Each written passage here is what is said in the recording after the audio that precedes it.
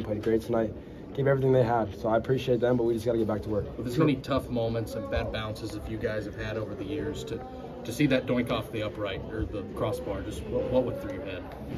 I honestly really don't remember. Um, I just, I just smile. I had a big smile on my face, a couple tears. Um, I just know how much we've been through as a football team, and to end the game like that was really special.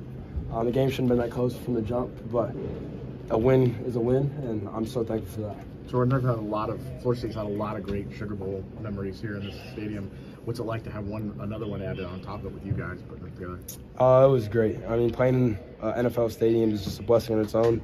Um, and playing LSU is, is very big time. Um, it was very big time. It's something that I saw on the calendar three years back. Um, I had this game circled for a long time, um, and I'm so grateful for my team, my coaches, just putting me in the best position to succeed. And I feel like we did a great job tonight. There was a lot of talk, and we wrote a lot about how your offensive line could do against their defensive line. How did they do? They played their asses off. So excuse my language. I'm sorry for that. um, they played really hard tonight. Um, yeah, they, played really hard. I'm so grateful for them. I let them all know I appreciate them more than anything because they, they fight through a lot. Once again, they hear a lot of different noise. Um, the confidence that they brought tonight, and they have my back, and I really appreciate them. So, second touchdown to, to Pokey, how are you able to stand in there and take that shot and deliver the ball? uh, that one hurt a little bit. Um, feeling that right now a little bit, but yeah, man, I, I would do whatever for this football team. Um, and Florida State University, um, Pokey made a great play. Um, I honestly didn't didn't know if he caught it or not, um, but he made a great play, and I'm grateful for it, yes, sir. How were you guys so effective on third downs? Just hard work. We work very hard in practice. Coach Norvell emphasizes third downs. What is it on Wednesdays? So we do a lot of third down periods, um, short, short, whatever. And I mean, at the end of the day, that's a great football team and a great defense. Don't want to take anything from them, but we played very hard tonight. It was it was special. You know, um, you know, Coach um, Norvell mentioned he, he believes in you guys. He believes in you guys.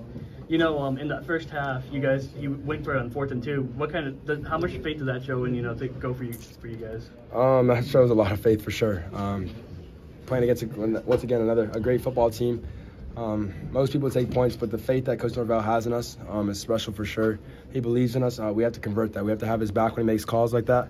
So we're gonna we got to get back to work and convert on those. How would you say about Pokey the night he had? I mean, obviously he's been here longer than you. He's Yeah. that guy who's been around having the night he did tonight.